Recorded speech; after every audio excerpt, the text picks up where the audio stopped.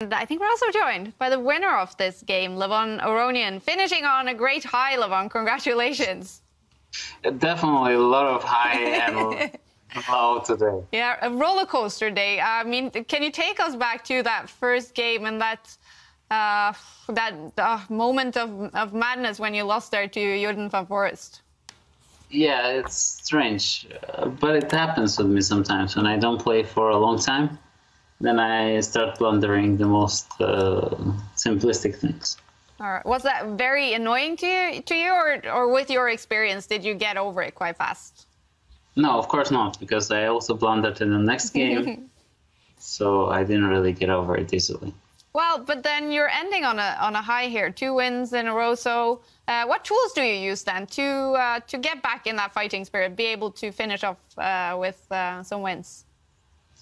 Oh, well, you're not really guaranteed to play well in this tournament. So you're, I'm, uh, my tool, my tools are just to enjoy and, you know, just to play and try uh, to score points. Mm.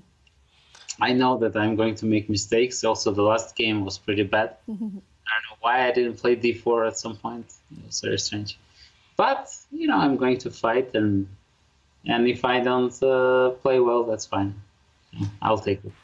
and we know, Levon, you were feeling a bit unwell and you weren't able to play at the World Cup. Are you feeling better now?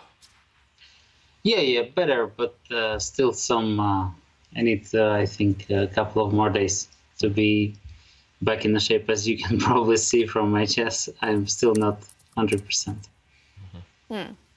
All right, and well, Levon, finishing off as we mentioned on a high with some blunders today. Will you do some uh, shift around, change your tactics a little bit, maybe do something different before it starts tomorrow, just to have a better start tomorrow?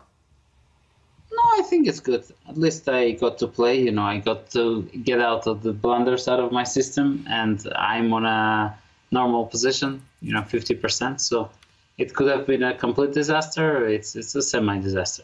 All right. Well, uh, Levon, as always, we're so so happy that you're joining the tournament and looking forward to tomorrow. Best of luck. Thank you, guys. Thanks for joining us. Levon Aronian. Okay.